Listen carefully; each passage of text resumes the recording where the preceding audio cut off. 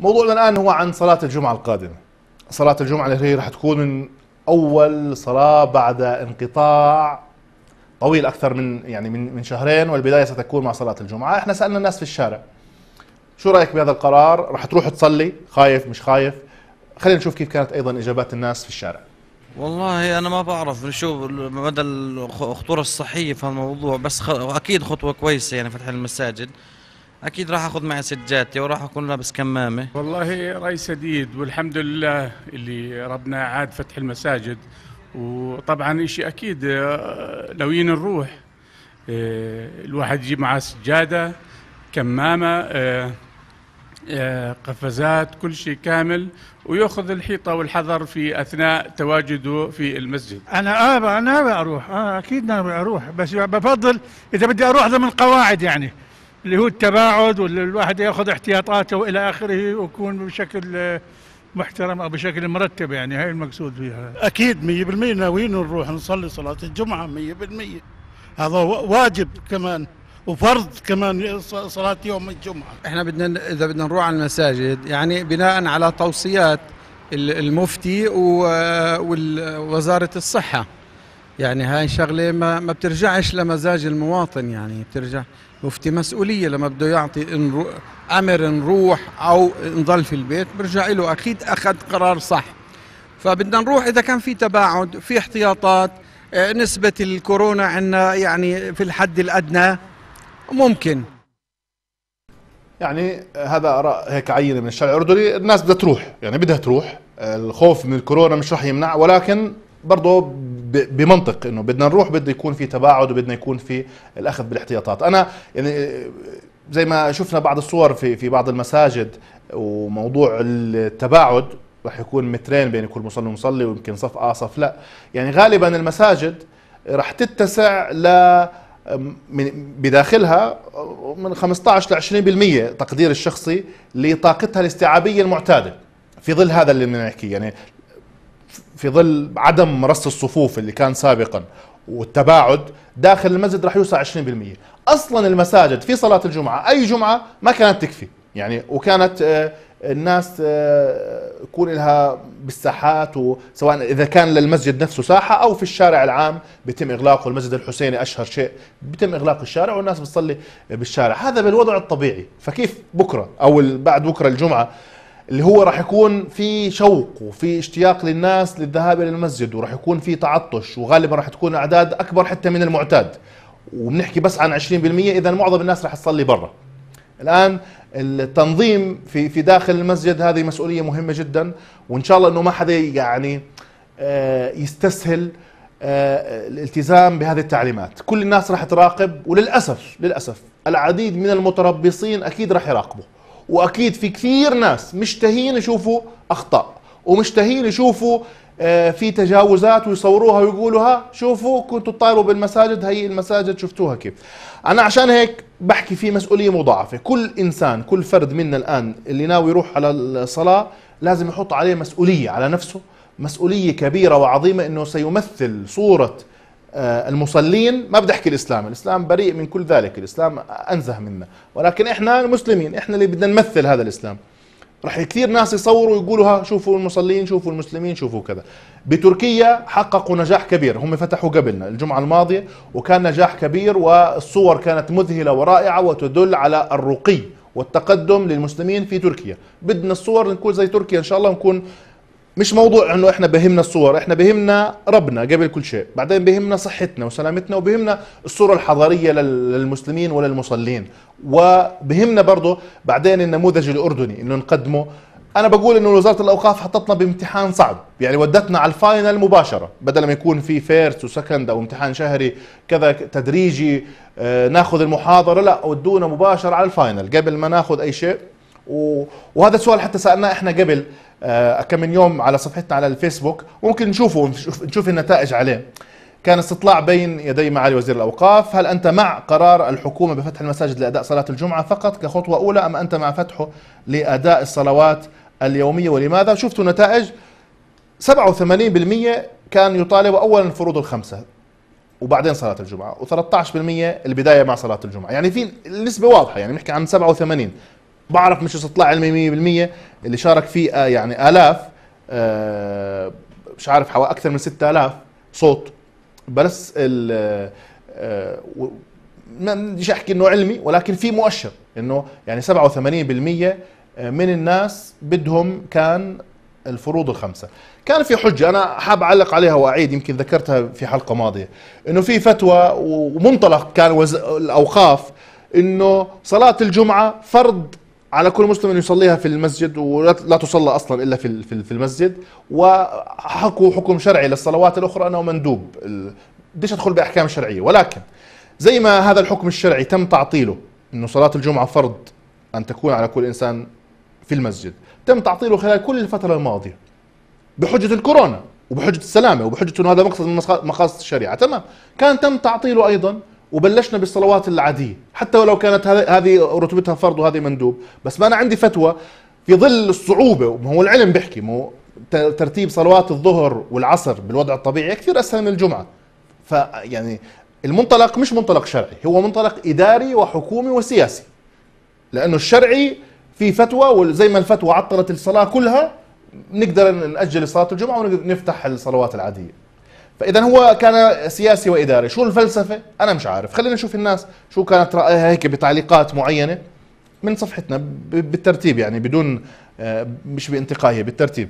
إبراهيم ملكاوي هو بيحكي الفروض جميعا. هو يعني السؤال بدنا نبدأ الفروض ولا صلاة الجمعة؟ نجاح وردة الفروض الخمسة. الحمد لله زال المرض آه، إن شاء الله. أشرف حسين بيحكي صلوات الخمسة. أم أمين آه، دراغمه الفروض الخمسة. غادة أبو عامر بتحكي عندي طلب إنه تاخذوا بعين اعتبار المساجد مغلقه إحنا الستات في البيوت ننتظر خطبة الشيخ كمال الخطيب. آه بتحكي عن قناة اليرموك ان شاء الله إذا الخطبة متاحة خطبة الشيخ كمال الخطيب مشاهدة بشكل كبير وأنا أنصح بمتابعتها. وكان يمكن يعوض حرمان الناس من أداء صلاة الجمعة خلال الفترة الماضية هو الاستماع لخطبة كمال الخطيب اللي يعني مع الاحترام لها من مكان ولكن كان خطبة صعب مقارنتها. غير يعني الشيخ كمال خطيب ربط الواقع مع إبداع إبداع. وإن شاء الله إنه تكون متاحة أيضا على شاشة اليرموك اللي بده يروح الرجال على الصلاة العادية بالتزامن رح يعني السيدات وكبار السن من الرجال اللي ننصح أن يلتزموا بالتعليمات وما يروحوا آه، قالوا الأوقاف مش راح يوقفوا يعني ويمنعوا. والله أنت قديش عمرك؟ 50 60 70 ممنوع تدخل. ولكن هو خيار ذاتي. بعرف في تعطش والتعطش غالبا لكبار السن سيكون أكثر من يعني آه، الشباب. وهم اللي كانوا ملتزمين هم اللي كانوا حافظوا على الصفوف الأولى في, في الصلوات. ولكن يعني إذا كان الاجتهاد إنه س- السلامة خاصة لكبار السن أولى فإن شاء الله إنه يكون في التزام بإنه يعني يأجلوا روحتهم شوي ويبقى هو الخيار لهم. أنا بس بحكي من باب التعليمات الرسمية اللي ذكرت واللي تم الإقرار عليها صحيا. أنا ما بيهمنيش بس تعليم رسمي تعليمات رسمية وإنما تم الإقرار في ذلك من لجنة الأوبئة وعلماء الصحة. آه، على كل حال إن شاء الله يكون شيخ كمال خطيب على شاشتنا. عبد الله آه، صافية بيحكي المنطق يسمح للصلوات الخمس لأنه العدد بيكون قليل. رولا طلافحة أكيد ما فتح المساجد بس الحكومة اللي بدها إياها بتعمله. سواء قلنا نعم أو لا بدليل يعني يمكن واحد يحكي لرولا طلافحة لا والله الحكومة ممكن تسمع بس هي الدليل. هذا الاستطلاع يعتبر مؤشر حوالي 90% مع الصلوات الخمسة قبل صلاة الجمعة. ولكن الحكومة ما سمعت وهي عملت اللي بدها إياه عبد الكريم العظمات مع التباعد في الفروض الخمسة وبدون صلاة جمعة إذا لم تسجل حالات إصابة في الوقت الحالي أم إبراهيم الفروض الخمس يعني التعليقات ومعظمها منسجمة مع النسبة اللي, اللي اللي كانت فوق كانت تتمنى أن يتم الفتح للفروض الخمسة قبل. آه، أنا أعتقد إنه ما في أي حاجة لإغلاق المساجد في صلوات الظهر والعصر ما دام إذا بدنا نعتبر إنه الفجر والمغرب والعشاء بيكون في حظر تجوال بلش. إذا ضلوا بنفس ما هو فالظهر والعصر ما, في أي حجة له. وإذا تم تمديد الحظر التجوال راح يصير في مغرب وعشاء والفجر يعني مش راح تكون هي المشكلة. وخلي الفجر يروحوا الناس بس مشي يعني ما يروحوش بالسير يعني إلها كثير بدائل وإلها كثير آه، طرق إنه آه، الصلاة آه، يكون النجاح إن شاء الله راح يتحقق بإذن الله يوم الجمعة مقدمة لفتح المساجد بشكل دائم. بلشنا بالصعب والحكومة حطتنا بهذا التحدي بس إن شاء الله إنه إحنا قدنا وبدنا ننجح بهذا التحدي ويعني إن شاء الله آه، يكون ذلك السبب لعدم وجود أي حجة لإبقاء إغلاق المساجد. وإن شاء الله ما يكون في ما لا نحمد يحمد عقباه وما يكون في صور سيئة ويتم تصويرها وتسليط الضوء عليها. وحتى يعني اللي عنده صفحات على الفيسبوك وعلى الواتساب ما تستعجل بنشر شيء مسيء سيكون. يعني خليها تتضبضب. بحيث إنه خاصة إنه راح يطلع الاستثناء وننسى الصورة الجميلة. وراح يصيروا الناس يركزوا على كم من صورة السيئة اللي ما كانش فيها التزام. وإن شاء الله يكون في دور للجميع بموضوع البائعين المتجولين المتسولين كذا. هذه كله اللي بيعمل لنا كركبة وفوضى في مشهد يوم الجمعة اللي إن شاء الله يكون مشهد مهيب وجميل ويرتقي ل يعني حضارة الشعب الأردني. سأذهب إلى آه، فيديو. هذا الفيديو يعني بقشعر البدن ببساطة. يمكن شفتوه على وسائل التواصل اللي ما شافه الآن راح يشوفه عن اللحظات الأولى لفتح المسجد الأقصى. وهذه اللي كانت في بداية هذا الأسبوع. وشوق المصلين شوق المقدسيين للأقصى.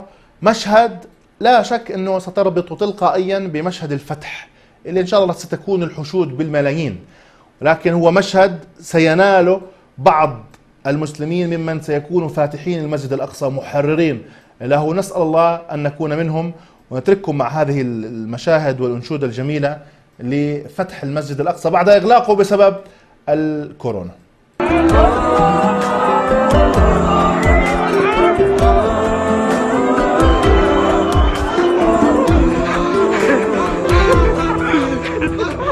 أي نار أي جمر أكتوي بعد الفراق وسط في بحر المآسي من دموع في المآب. كيف لا تبكي عيوني من حنين الاشتياق؟ كلما هبت رياح هزني ذاك العناب كيف أنساك حياتي ذاك والله محال. إن قلبي تعتريه لوعة تأبى الفصال لوعة أبقت فؤادي في اشتعال واحتلام لوعة منها عيوني لا يواتيها منام هذا يوم أقصانا الحمد لله رب العالمين. كنت كالبدر ضياء بين عتمات السجون. كنت لي أنسى الليالي وحديثا ذا شجون يا سلام يا سلام ما أجمل هذه المشاهد. هذا يوم عيدنا يوم أقصانا. إن شاء الله يوم العيد الكبير هو يوم الدخول إلى المسجد الأقصى دخول المحررين. الفاتحين. بإذن الله سبحانه وتعالى أن يرزقنا ذلك. ويعني نسأل الله أن يكون ذلك قريب. وهذه المؤشرات يعني لا تستبعد ذلك.